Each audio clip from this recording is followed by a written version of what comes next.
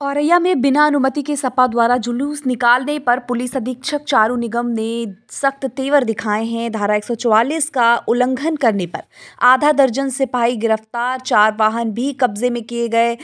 उच्चाधिकारियों को जुलूस के बारे में जानकारी न देने व निषेधागा का पालन कराने में विफल औरैया कोतवाली प्रभारी पंकज मिश्र व एल आईयू इंस्पेक्टर निलंबित कर दिए गए हैं। वहीं जनपद औरैया थाना कोतवाली औरैया क्षेत्र अंतर्गत सपा सहयोगी संगठन युवजन सभा की वायरल वीडियो के संबंध में पुलिस अधीक्षक चारू निगम का बयान सामने आया है। उन्होंने क्या कहा है आप भी सुनिए। संबंध में एक खबर चल रही है। क्या है पूरा मामला?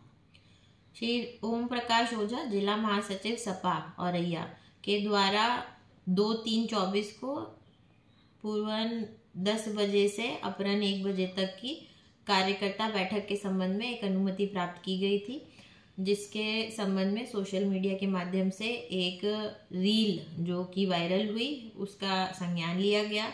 इसके संबंध में जानकारी हुई कि आ, कुछ लोगों के द्वारा पंद्रह बीस गाड़ियों से हाईवे और भीड़भाड़ वाले इलाकों में इस कार्यकर्ता बैठक से पूर्व एक रैली नुमा निकाली गई जिसमें उन लोगों के द्वारा अभद्रता करते हुए गाड़ियों से बाहर लटक के यातायात के नियमों के भी उल्लंघन किए गए। सड़क पे अन्य वाहनों को भी बाधा उत्पन्न की गई, जो धारा 144 भी लागू है और इनके द्वारा जो प्राप्त अनुमति है, उसका स्पष्ट उल्लंघन है। इन सब के संबंध में समीचीन धाराओं में अभियोग पंजीकृत किया गया है, क्योंकि ये प्रकरण कल का है और इसका संज्ञान थानाध्यक्ष कोतवाली और इंस्पेक्टर एलआईयू दोनों को था, परंतु इन्होंने वरिष्ठ अधिकारियों के सूचना भी नहीं दी और इस संबंध में जो आवश्यक विधिक कार्रवाई होनी चाहिए थी, वो नहीं की गई।